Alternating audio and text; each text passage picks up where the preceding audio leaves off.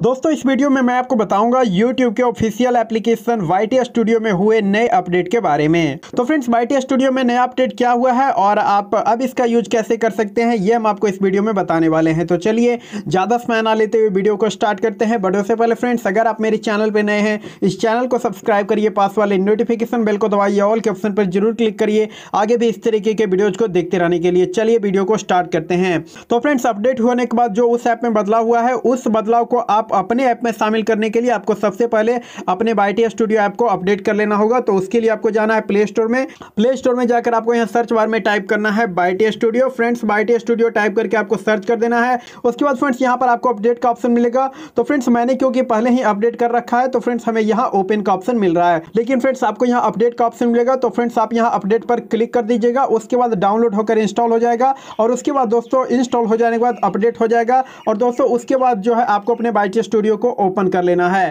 तो फ्रेंड्स आपका बायोटी स्टूडियो कुछ इस तरीके से ओपन हो जाएगा। तो फ्रेंड्स पहले क्या होता था कि आपको अपने वीडियो का मोनेटाइजेशन ऑन करने के लिए आपको वीडियो पर क्लिक करना होता था। उसके बाद फ्रेंड्स आपको यहाँ पेंसिल वाले आइकन पर क्लिक करना होता था। उसके बाद दोस्तों, आपको यहाँ बेसिक इन्फो के बाद ऑप्शन मिल जाता था मोनेटाइजेशन का और उसके बाद आपको ऑप्शन मिलता था एडवांस सेटिंग का। लेकिन फ्रेंड्स अब जो है यहाँ से मोनेटाइजेशन वाला सेक्शन हटा दिया गया है और फ्रेंड्स इस मोनेटाइजेशन वाला सेक्शन को यहाँ से हटाकर अब जो है यहाँ पर ऐड कर दिया गया है।